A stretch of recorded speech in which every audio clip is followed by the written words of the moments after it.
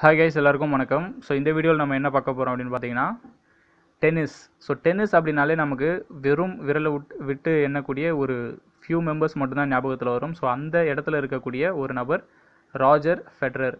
So Roger Federer வந்து Switzerland நாட்டை சேர்ந்தவர்.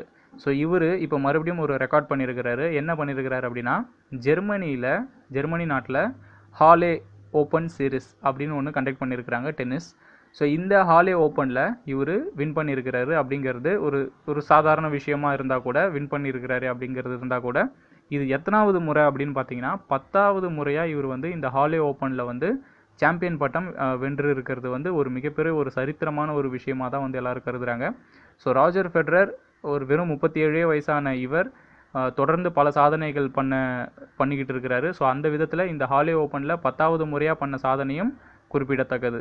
So thank you thank you so much